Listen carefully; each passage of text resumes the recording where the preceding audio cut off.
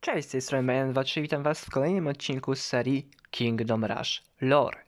Dziś przyjrzymy się bohaterce o imieniu Ainil, która jest siostrą Malishi i również jest postacią występującą w Kingdom Rush Origins, czyli pierwszej chronologicznie części naszej serii Kingdom Rush. I standardowo, najpierw omówię wygląd bohaterki, potem jej moce, następnie historię, i na koniec ciekawostki. Odcinek ten nie będzie jakimś długim odcinkiem z racji na dość ubogą ilość informacji na temat tej bohaterki, ale mimo wszystko uważam, że jest dość ciekawa, choć jej losy w sumie nie są tak do końca też znane. Jeśli chodzi o wygląd tej bohaterki, ma ona pewne cechy, które przypominają Twilight Ewalkera. E, szczególnie ta peleryna jest taka sama. E, no i też podobny jest dość strój, ale jednak się troszeczkę różni, bo jest e, dłuższa ta dolna część i cały strój jest w kolorze czarnym. E, dodatkowo dzierży ona, z racji iż jest magiem, dość fajnie wyglądający moim zdaniem kostur, zakończony e, właśnie takim magicznym kryształem, z którego właśnie rzuca czary. No i włosy ma takie same jak Malicia, jak swoja siostra, i dość takie charakterystyczne dla elfów zmierzchu, dla Twilight elfów. Tak samo karnacja również jest taka, jak praktycznie każdy elf zmierzchu ją posiadał. E, także taka blada skóra. E, tu nie ma żadnych jakichś specjalnych cech. Także myślę, że możemy przejść do mocy. No i oczywiście Einlin jest potężnym magiem, takiej siostra Malicia, e, także tutaj zostało w rodzinie i posiada arsenał potężnych zaklęć magicznych, ale te, które poznajemy w grze, które możemy za zaobserwować, w których jest dobra, no to są dwa takie zaklęcia. Pierwsze to tarcza energetyczna i jest to takie zaklęcie, które otacza pojedynczego właśnie sojusznika Ainlin, e, no zwykle takiego, który ma dość niski poziom zdrowia, już oberwał sporo na polu bitwy i tarcza ta pochłania otrzymywane obrażenia. Podobnie trochę jak Władca Demonów działa z oryginalnej właśnie tej pierwszej części Kingdom Rush. Z kolei drugą umiejętnością Ainlin jest teleportacja. E, I właśnie przez sekundę e, ta laska, ten kostur naszej czarodziejki będą świecić, a ona ją uniesie, po czym uderzy nią o ziemię, teleportując grupę wrogów naszych wrogów, a jej sojuszników na niewielką odległość, także może e, nawet całe grupy, całe oddziały swoich e, właśnie sługów, e, swoich żołnierzy teleportować w inne miejsce. E, także dość ciekawie. No i tak jak w sumie niektórzy bossowie potrafi unieruchomić losową wieżę na około 15 sekund w samej grze. No bo właśnie w samej grze te wieże unieruchamiają niektóre postaci, natomiast tak ogólnie lorowo, no to bardziej bym się skupił na tych pierwszych dwóch zdolnościach, bo one są bardziej takie e, uniwersalne, że tak powiem, że i zarówno w grze, jak i e, poza grą by działało to dość ciekawie. No i tutaj się kończy to, co mogłem powiedzieć o mocach i przejdźmy do historii, a właściwie do opisu, który również niestety jest dość krótki. Eileen, co też warto powiedzieć, nie jest bohaterką z kampanii ani głównej, ani z żadnej z kampanii pobocznych. Jest bohaterką występującą na Endless Waves, czyli na niekończących się falach, czyli właśnie takim specjalnym wyzwaniu, które pojawia się we wszystkich Kingdomach, nie licząc Kingdom Rush Vengeance, czyli jest w trzech częściach Kingdom Rush, Kingdom Rush Frontiers i w Kingdom Rush Origins. Po prostu my nabijamy tam jak najlepszy wynik, Załatwiamy jak najwięcej wrogów, ale nie da się tego wygrać. Jak sama nazwa wskazuje, ilość rund jest nieskończona.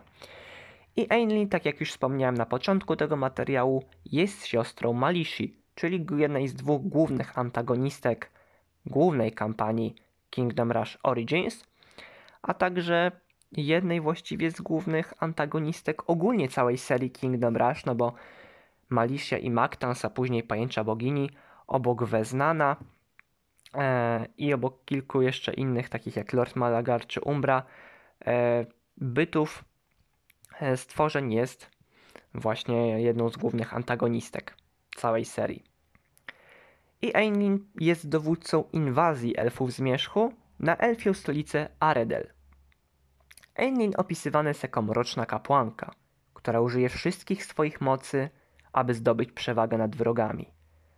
Drwi ona z dowódców wroga i ma arsenał dość irytujących dla przeciwnika umiejętności, które utrudniają znacząco jego obronę. Tak jest właśnie opisywana.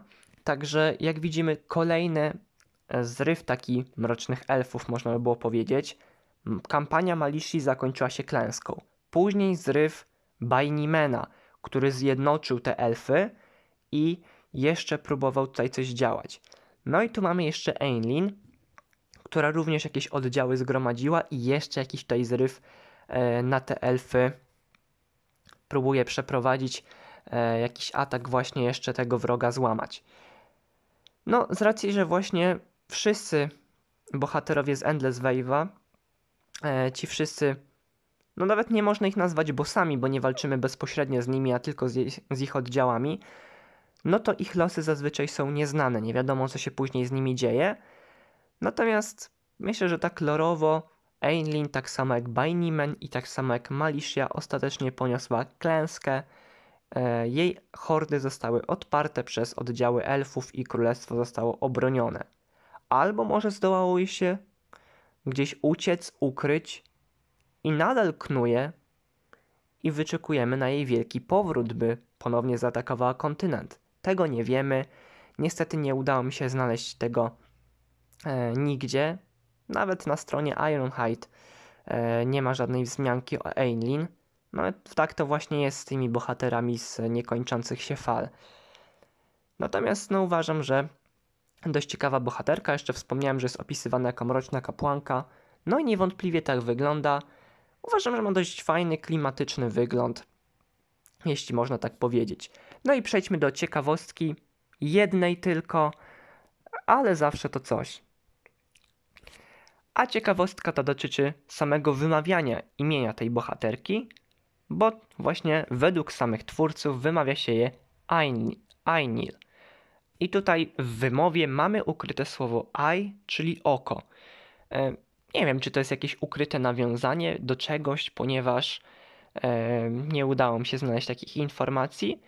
Myślę, że po prostu jest taka, takie ułatwienie, jak czytać tą nazwę, a nie ma tu żadnych ukrytych znaków, nie ma tu żadnych podtekstów ani easter eggów ukrytych, tak mi się po prostu wydaje, gdyż nie znalazłem takich informacji. No nawet, nawet nie pasuje, żeby do czegoś dobrać to słowo oko, albo wzrok, czy cokolwiek związanego właśnie z tym słowem. Także raczej jest to po prostu taka ciekawostka związana z samą wymową. No i co? I to tyle, co mogę powiedzieć o Einlin.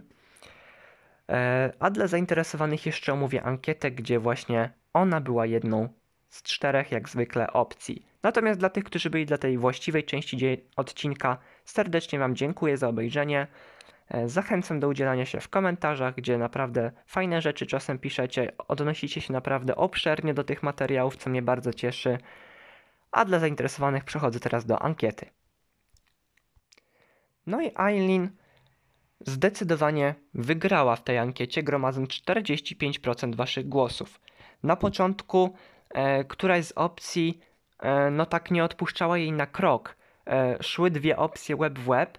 Chyba to był JT, ale no przewaga została powiększona i dwukrotnie więcej pu punktów procentowych Eileen zgromadziła. E, JT oczywiście Yeti znany z Kingdom Rush 1. Też o nim by był krótki odcinek, bo też informacje są wręcz szczątkowe. Mamy też Dierdre, o której dałoby się już nakręcić dłuższy odcinek, ponieważ mielibyśmy tam, mielibyśmy tam no dość obszerny opis mocy, bo jest ich trochę, tych co znamy i tych co widzimy w samej grze. E, historia też jest troszeczkę dłuższa i Dierdre tak samo jak Ainlin również jest kapłanką, ale jest bohaterką pozytywną. No i ostatnią opcją były wielkie pająki, czyli jedyna rasa, frakcja e, w tej ankiecie.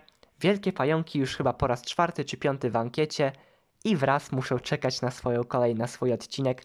Pewnie się kiedyś doczekają, ale jeszcze to nie jest ich czas, ponieważ zgromadziły 18% waszych głosów. No i co? Taki krótszy odcinek, e, tak jak i o właśnie kryształowym wężu i jeszcze tam dla was mam przygotowany bonusowy odcinek, który również jest króciutki.